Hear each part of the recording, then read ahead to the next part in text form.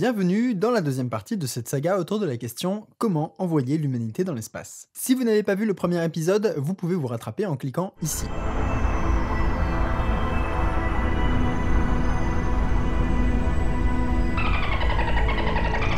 Bon, c'est parti. Nous avons précédemment vu que les fusées à propulsion chimique sont loin d'être le bon moyen de transport pour envoyer de très grosses masses dans l'espace, comme l'humanité tout entière par exemple. Comme beaucoup d'entre vous l'ont fait remarquer, il s'agit peut-être d'une histoire de carburant. Pour comprendre la suite, il faut parler un petit moment de l'un des papas de l'exploration spatiale, Konstantin Tsiolkovsky, que l'on voit ici en train de faire du vélo. Tsiolkovsky avait imaginé dès 1883 à quoi pourrait ressembler un véhicule capable d'aller dans l'espace, et il dessina ceci. On voit sur la gauche un sas pour permettre aux astronautes de sortir dans l'espace, et à droite ce qui ressemble à un lanceur de balles de tennis et qui assure en fait la propulsion. Au passage, Tsiolkovsky est également l'esprit à l'origine du Zeppelin à coque métallique, du concept de fusée à plusieurs étages, des stations spatiales, de l'utilisation de serres en orbite pour régénérer l'atmosphère. Il est l'un des premiers à avoir travaillé sur les moteurs ioniques et il est mort plus de 20 ans avant que l'on envoie le premier satellite dans l'espace, après avoir été toute sa vie largement en avance sur son temps. Pas cool. Tsiolkovsky avait compris que la propulsion des fusées, que ce soit dans l'atmosphère ou dans l'espace, se ferait grâce au principe de réaction, que l'on appelle aussi la troisième loi de Newton.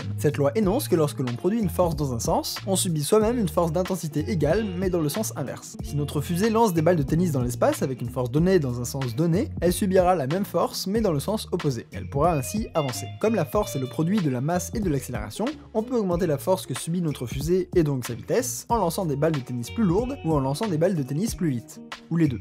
Bon, en pratique, les fusées qui vont dans l'espace n'éjectent pas des balles de tennis, mais des atomes de gaz issus de la combustion de carburant. Mais c'est la même loi physique qui les fait avancer, la troisième loi de Newton. On pourrait éjecter de l'eau, du vomi, des totoros ou des statuettes à l'effigie de cola, l'origine physique du mouvement serait la même. Tsiolkovsky a fini par découvrir l'équation qui décrit la vitesse d'une fusée, et la voici. En fait, ce que l'équation nous raconte, c'est que la vitesse de notre fusée va dépendre d'une part de la vitesse à laquelle on éjecte les balles de tennis, je veux dire les atomes de gaz issus de la combustion, et d'autre part de la masse de ces atomes de gaz qui sont éjectés. Enfin, pour être précis, du logarithme de la masse de ces atomes. La nuance a son importance, parce que le logarithme est une fonction qui augmente très très lentement. En effet, pour augmenter la vitesse de notre fusée 10 fois, on peut soit multiplier par 10 la vitesse d'éjection des balles de tennis, soit multiplier par 10 le logarithme des masses de balles de tennis éjectées. Le souci, c'est que, comme on a dit, le logarithme augmente horriblement lentement, et pour multiplier le logarithme de la masse 10 fois, il faut en fait passer la masse à la puissance 10. Par exemple, si on voulait accélérer de 10 fois la vitesse de Saturn V, on pourrait accélérer de 10 fois la vitesse d'éjection des atomes de gaz, ou augmenter la masse de carburant éjecté à la puissance 10. Comme les réservoirs de Saturn V contenaient en gros 1000 tonnes de carburant, il faudrait qu'ils contiennent désormais 1000 tonnes à la puissance 10, soit 10 puissance 60 kg, soit plus lourd que le plus lourd de tous les trous noirs supermassifs connus à ce jour. Ok, on voit donc que augmenter la masse éjectée n'est pas la bonne solution pour augmenter la vitesse, il faut augmenter donc la vitesse d'éjection. Les fusées traditionnelles utilisent l'énergie de la combustion du carburant pour propulser très très vite les balles de tennis, euh, les atomes de gaz, mais il existe d'autres méthodes pour accélérer des masses à éjecter de la fusée. Comme ce serait très fastidieux de passer en revue l'ensemble des systèmes alternatifs de propulsion qui ont été imaginés depuis les années 50, il va falloir me croire sur parole quand je vais vous dire que pour le moment, aucun ne permet de résoudre le problème technique de comment envoyer l'humanité dans l'espace depuis le sol. Par exemple, la propulsion électrique, très prometteuse dans l'espace, ne permet pas de générer assez de poussée pour sortir de l'atmosphère, la propulsion nucléaire thermique, qui a fait l'objet de nombreuses recherches dans le programme NERVA pendant 20 ans, pose de gros risques de contamination radioactive majeure en cas d'accident, et les sources d'énergie exotiques comme la fusion nucléaire ou les moteurs à matière-antimatière ne sont pas prêts d'être utilisables. En d'autres termes, ce n'est pas demain que l'on changera vraiment de carburant dans les fusées qui partent du sol à destination de l'espace. Constatant que l'équation de Tsiolkovsky était une pute, de nombreux ingénieurs décidèrent de tenter leur chance sur des moyens alternatifs de lancer des choses dans l'espace, et c'est de cela dont on va parler aujourd'hui.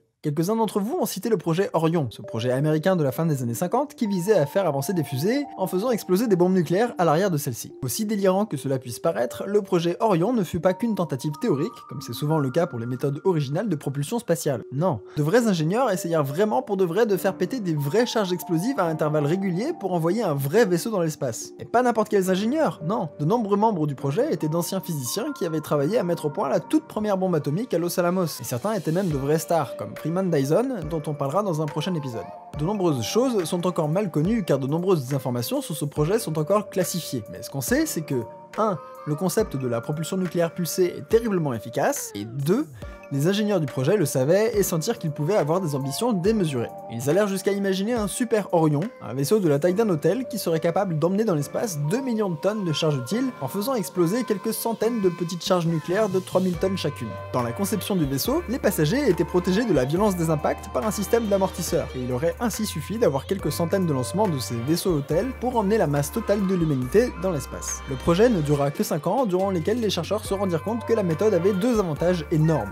Est que nous possédons largement toute la technologie nécessaire pour rendre ce rêve réel. En fait, nous avions déjà tout ce qu'il fallait dans les années 60, comme l'ont prouvé les capacités de production d'ogives nucléaires des deux blocs pendant la guerre froide. Le second est le coût très faible. Le prix d'envoi d'un kilo dans l'espace aurait été de seulement 10 dollars, soit environ 1000 fois moins que celui des fusées actuelles. Le gros souci de ce mode de propulsion était son image publique. Même dans les années 60, ce n'était pas particulièrement sexy de travailler sur un moyen de propulsion qui fonctionnait grâce à une arme de destruction massive. Et le projet fut abandonné avec le traité d'interdiction partielle des essais nucléaires en 1963. Bon, il faut bien admettre que le véhicule aurait légèrement irradié l'atmosphère, mais bon, hein, on ne fait pas de fumée nucléaire sans feu radioactif. Ceci étant, on peut quand même garder l'idée sous le coude, au cas où il faudrait subitement quitter la planète, parce que pour le moment c'est un peu la seule méthode qui ne demande pas des décennies de recherche et développement avant d'être exploitable. En plus, ça nous donnerait une super raison d'utiliser ces stocks nucléaires inutilisés. Pas de gaspillage, lol. D'autres ont proposé d'utiliser des voiles solaires pour se déplacer. Les voiles solaires sont des miroirs ultra fins qui réfléchissent la plus grande partie des rayons lumineux venant du soleil, et profitent ainsi de la pression exercée par les photons pour avancer. Les voiles solaires pourraient être très utiles pour déplacer des charges dans le vide de l'espace, mais comme la poussée est très faible, cette technologie est complètement inefficace pour emmener un objet en orbite depuis la Terre. On a besoin de beaucoup plus de patates. Par contre, le principe est pas bête. Faire bouger un objet avec un faisceau de photons, ça pourrait marcher. Enfin, ça pourrait marcher, mais pas pour les mêmes raisons que la voile solaire. Il existe ce qui s'appelle les lightcrafts, littéralement vaisseaux de lumière, qui sont à l'état actuel des petits objets aérodynamiques propulsés par des lasers très puissants. Contrairement à une voile solaire, les photons ne poussent pas l'objet, mais ils chauffent sa surface à plusieurs milliers de degrés jusqu'à que l'air devienne un plasma, se dilate violemment en créant une onde de choc qui propulse le dispositif dans la direction opposée au faisceau.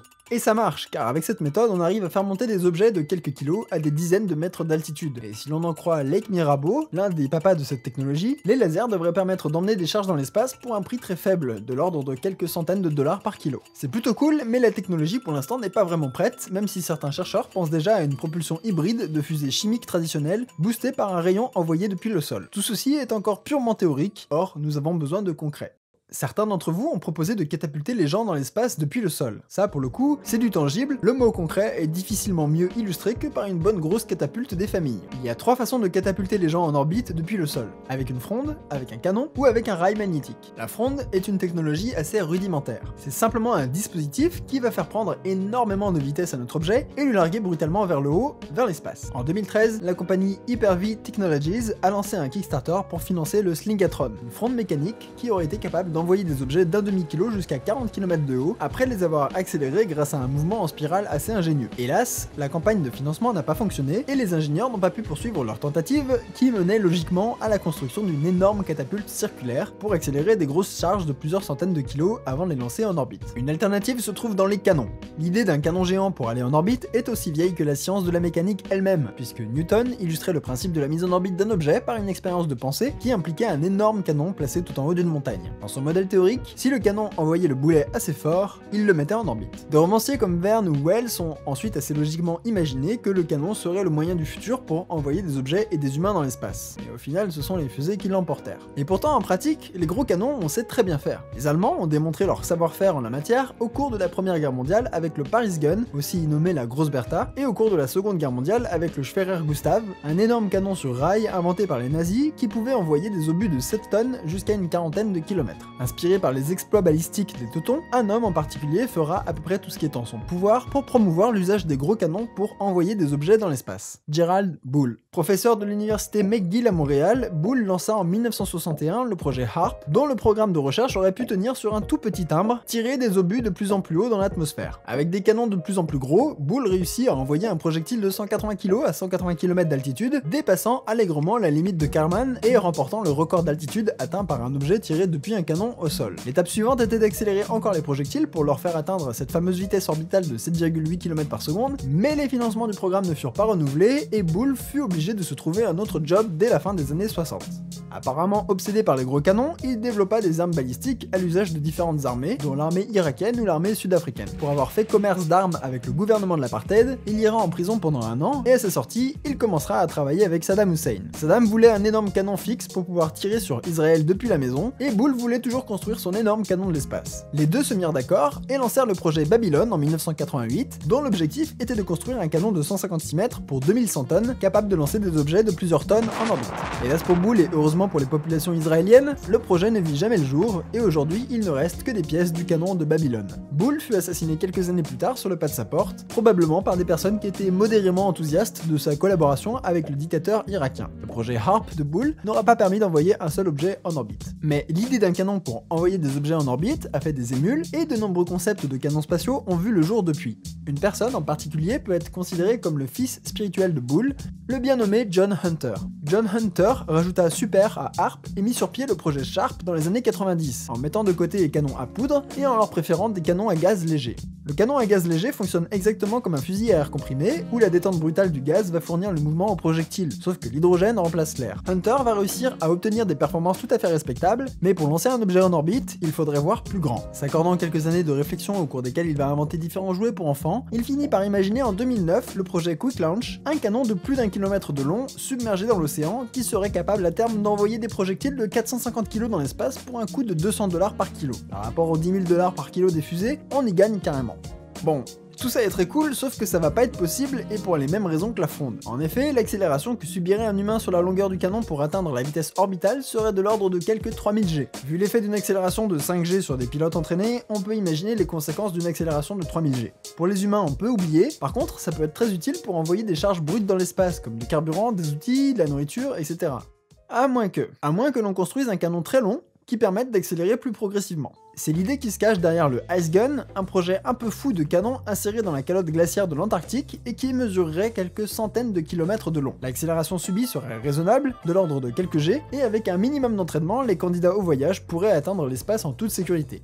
L'Antarctique est aussi le lieu choisi pour un autre projet pharaonique, le Startram. Le principe est globalement le même que le canon géant, sauf que la propulsion est assurée par un rail magnétique, équivalent à celui des trains à grande vitesse du Japon. La propulsion magnétique, que ce soit sur rail ou dans un canon magnétique, est d'ailleurs actuellement l'objet de développement militaire pour faire des canons sans poudre, et c'est aussi une idée qui a été fréquemment proposée par la NASA pour éviter d'utiliser de la poudre ou des gaz légers, avec pour avantage un coût réduit de lancement une fois que le dispositif existe.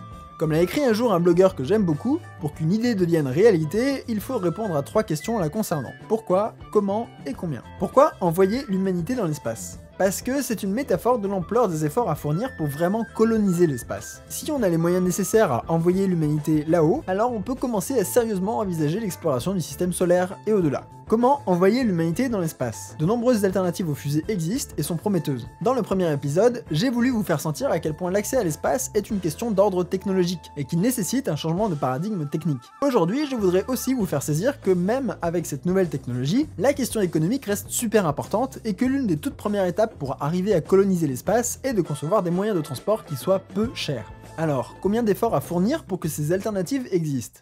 C'est une bonne question et on pourrait appeler ça la parabole du programme spatial zambien. Dans les années 60, le prof de sciences zambien Makuka Nkloso rêve de partir dans l'espace et il décide de créer un programme d'entraînement de cosmonautes pour la Zambie pour lesquels il a beaucoup d'ambition. En effet, il veut les envoyer sur la Lune. Sans financement mais avec beaucoup de bonne volonté, il entraîne des volontaires à l'espace en les plaçant dans des tonneaux et en les poussant du haut de collines. Pour les habituer à la pesanteur, il leur fait faire de la balançoire et coupe les cordes lorsqu'ils sont à l'apogée de leur mouvement. Sans support officiel du gouvernement, le programme s'est très vite arrêté évidemment et est devenu une curiosité amusante dans l'histoire de la course à l'espace. Mais c'est une bonne métaphore, certes un peu extrême, de l'effet du manque de ressources sur un programme spatial ambitieux. Tout comme Nkloso, nous avons les idées, nous avons la motivation mais la mise en application d'un programme spatial très ambitieux reste hors de portée économiquement parlant. Nos canons vers l'espace sont actuellement à l'image des balançoires de Nkloso. S'il avait eu les moyens, il aurait pu investir dans un avion 0G et entraîner ses pilotes à la pesanteur. Si l'humanité se donnait les moyens, elle pourrait investir dans des canons de plusieurs kilomètres de long, efficaces pour envoyer des objets dans l'espace. Malheureusement, la situation actuelle n'est pas très encourageante. Toutes les technologies présentées, que ce soit les lasers, les canons ou les rails, demandent des investissements très importants pour que des dispositifs de grande échelle soient construits, tels que le Ice Gun ou le Startram, qui auraient des coûts de construction de l'ordre de la dizaine ou de la centaine de milliards de dollars. En d'autres termes, à l'heure actuelle, nous avons conçu différents plans de caravelles dans l'espace et certaines fonctionnent très bien. La question qui reste à répondre est donc, serons-nous capables d'investir dans ces solutions? Et à ça, on essaiera d'y répondre dans le prochain épisode.